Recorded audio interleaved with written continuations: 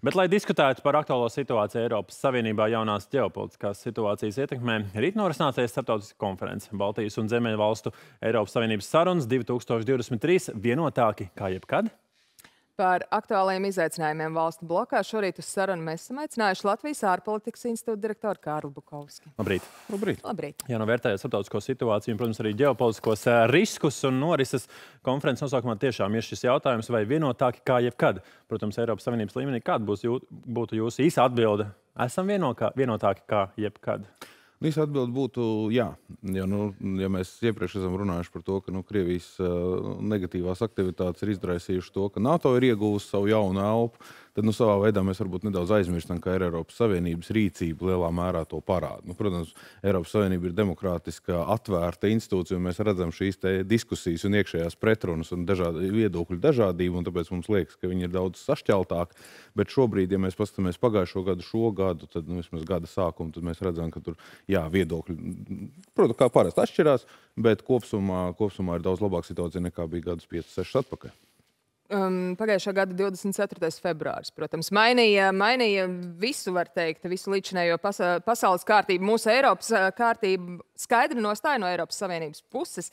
Nosodījums, protams, dažādas re rezolūcijas, kas pieņemtas par Krieviju kā teroristisku valsti. Un tomēr, kā jūs teikt, cik stingra kopumā bija Eiropas nostāja sākumā arī jautājumā par militāru atbalstu Ukrainai? Nu, šeit primāri laikam, jāsaka, ka militāra atbalsta sniegšanai pat bija vēsturiski unikāla situācija. Tāpēc, ka, nu, principā, nu, mums vienmēr ir jāpaturprātā, ka Eiropas Savienības institūcijām, Eiropas komisijai ir kaut kāda noteikta skaits ar kompetencijām, noteikts skaits ar lietām, par kurām vispār drīkst jautājumus nu, lemt un, un, un likumdošanas priekšlikumus izvirzīt. Nu, militārie jautājumi nav viena no tiem.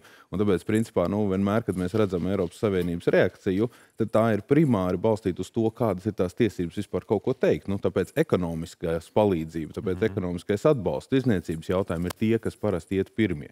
Un to mēs arī, to mēs arī diezgan skaidri redzējām no Eiropas komisijas puses. Otrs jautājums, protams, ir par sankcijām. Šķiet, jau desmit sankciju kārtas ir pieņemtas, bet nu, tās ir pieņemtas pakāpeniski. Līdz ar to arī tā ietekme gan uz Krievijas ekonomiku, gan vispār būs tāda krietni pakāpeniskāka. Nu, varbūt tad, kad sākās karš, daudzi cerēja, ka tā ietekme būs tūlītējāka. Nebija tā, ka tās cerības bija pārāk lielas tajā laikā, ka tiešām izdosies izolēt Krieviju agresoru valsts. Es domāju, ka jā, nu tas, tas uzstādījums un tas principā lielā mērā tas vēlme pat ļoti daudzos gadījumos bija tā, ka nu, tūlīt tās Krievija pratīsies un sapratīs, ka nu, šī, šī situācija nav vēlama un ir jārīkojas un ka beigu beigās, nu, pēc dažādiem aprēķiniem, ap, ap, ap, ap 4% IKP, Krievijas IKP kritums ir pagājušā gadā rēķināts. Nu, šogad it kā tiek rēķināts, ka varētu būt vairāk. Bet mums jāpatur prātā, ka nu, tur, kur ir reakcija, tur ir arī pretreakcija. Un šoreiz Krievijas jau no pirmajām dienām varēja redzēt, ka gatavojās kādā veidā apiet šīs sankcijas, kādā veidā izvairīties no šī, šo sankciju lielākiem, uh, lielākiem triecieniem. Un tāpēc nu, mums ir jāņem vērā, ka nav jau tā, ka Krievija tūlīt tās uh, padosies un, un noliksies. Lai kā mēs gribētu cerēt, ka vienkārši vienā brīdī. Jā, bet jautājums, kas regulāri visu arī gada garumā, protams, publiskajā telpā parādās, vai vispār mūsu cerības un gaidas no sankciju ietekmes, nu, vai mēs neesam sevi mānījuši, ka tik smagi un tik sāpīgi, kā mēs gribētu, jau patiesībā Krievija tās nemaz nesita. Es domāju, ka te, te vienmēr ir tas uh, angļuiskais termins, expectācija menedžēšana vai gaidu, gaidu um, rīkošanās ar gaidām, kas, kas, kas, kas, kas ir priekšā. Nu, protams, ka sākotnēji tā do, to sankciju ideja jau sākotnējā bija, lai Krievija pārstāja. Lai Krievija pārstāja uzbrukt Ukrainā, lai Krievija pārstāja šo vardarbību. Tas nenotika, un tas turpinās. Tāpēc lielā mērā tas uzstādījums bija, ka mums vajag sankcijas, lai Krievija to izbeigs. Nu, tas nav noticis. Bet, ja mēs paskatāmies tā godīgi, nu, tad ir virkne jā, gadījumu, drīzāk pat jāsaka, laikam, ka pasaules vēsturē ir vairāk gadījumu, kad sankcijas nav nostrādājušas līdz galam, vai viņas ir nostrādājušas tikai daļēji. Es tieši gribēju jums lūgt, varbūt jūs varat minēt kādu piemēru, kur tiešām tās sankcijas ir nostrādājušas un izrādījušās efektīvas? Nu, Visklasiskākais piemērs ir Dienvidāfrikas uh, Republika 80. gadu beigās nu, apartheida režīms. Tas, tas parasti tiek nu, grāmatās minēts kā, kā, kā visredzamākais jo piemērs. Pārāk daudz jau tādu gadījumu nav.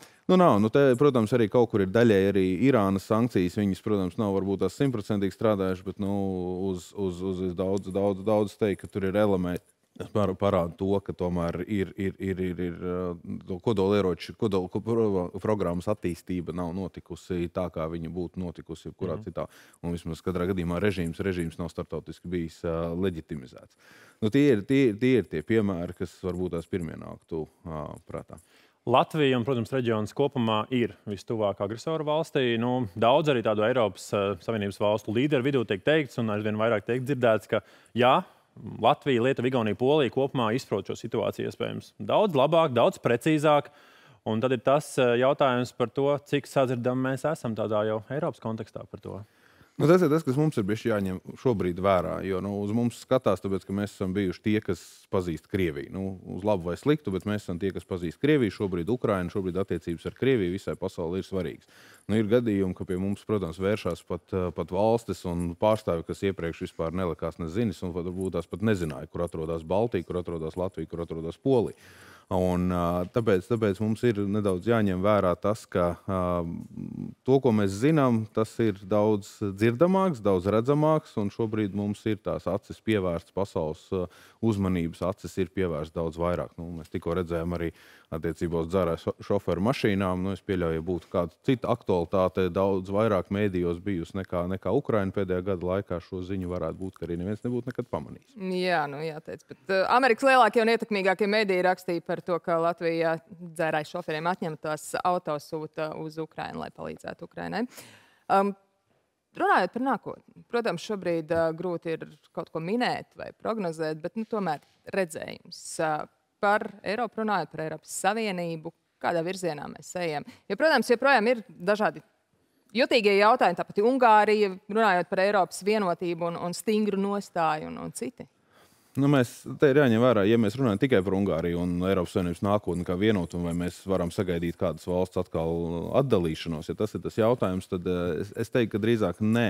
Jo, te, protams, Ungārijas gadījums ir specifisks. Precīzi sakot, Viktora Orbāna gadījums ir visnotaļ specifisks. Jo mēs paskatīsimies, tad Ungārija pati un Ungārijas iedzīvotāji vēlas būt Eiropas Savienībā. Un, ja, viņu, ja viņus Orbāna kungs nostādītu izvēles pozīcijā vai no nu es vai Eiropas Savienības, es domāju, ka visi izvēlētos, nu, ja ne visi, tad lielākā daļa izvēlētos, tas jau arī pēc, pēc, pēc statistikas datiem redzams, izvēlētos tieši Eiropas Savienību. Un šie, šis ir tas elements, kas ir, kas ir, kas ir būtisks, ko turēt, turēt prātā. Pārējās valstis šobrīd apzinoties situāciju un arī šim ārējam tūlītējam draudam esot no, no, no Krievijas puses. Principā ir daudz, daudz vienotākas nekā viņas varbūt tās ir bijušas jebkad, kā jau arī konferences nosaukumā. Eiropas Savienībā vēlas, nav, bet vēlas būt Moldova. Bet Moldova šobrīd arī ir ļoti karsts punkts savā ziņā, varētu teikt, ko Krievija arī izmanto nu, savā ziņā kā savu placdarmu, savas ietekmes uh, sfēras palielināšanai. Kā jūs redzat, kā tālāk attīstīsies notikumi? Nu, te ir divas lietas. Viena lieta ir tas, kādā veidā Krievija un Eiropas Savienība cīnās par šīm dažu, dažu, dažu un dažādu, un vai visas pasaules valstu iedzīvotāju sirdīm un prātiem. Nu, Eiropas Savienība to parasti cenšas darīt ar ekonomiskiem līdzekļiem, jo nauda ir un dara, cenšas darīt ar nu, tādu imidža, imidža tēla veidošanu tajās valstīs. Nu, Krievijas gadījumā tas tēls, diemžēl, ir pabojāts bijis jau ilgu laiku. Naudas arī varbūt tās nemaz, nu, salīdzinoši ceļš ar Eiropas Savienību nav tik daudz, līdz ar to bieži vien tie līdzekļi, kas tiek izmantoti, ir ir, ir, ir vardarbīgāki, viņi ir daudz uh, naidīgāki, indīgāki, arī acīm redzot, nu, dažādā veidā korupcijas izmantošana un, un, un, un, un piespiešanas metožu izmantošana. Moldovas gadījums, protams, ir viens no tiem mm, placdarmiem, kā jūs precīzi sakat, par kuru šī cīņa notiekās. Nu, tas ir lielā mērā šobrīd uh, būtiski, ka pašas Moldovas iedzīvotājiem ir skaidrība par to, ko viņi vēlās. Jo, nu, principā, ja viņiem saka, ka Eiropas Savienība principā viņiem ir ceļš, kas ir šobrīd atvērts, uz kuru viņi var tiekties, šīs reformas ir jāveic, bet nu, viņiem vismaz tas mērķis un skaidrība ir. Ja viņi eh, ņems vērā to, ka jā, nu, liela daļa no viņiem tāpatās jau vai caur Rumāniju vai kā savādāk strādā jau Eiropas Savienībā, un ka Eiropas Savienība viņiem tomēr ir tuvāka un Eiropas Savienības vērtības ir tuvākas, tad gadījumā viņi, protams, arī um, redzēsim, ka būs daudz noturīgāk pret šīm Krievijas centieniem dažādos veidos manipulēt ar sabiedrisko domu vai, vai atsevišķām politiskajām partijām vai atsevišķiem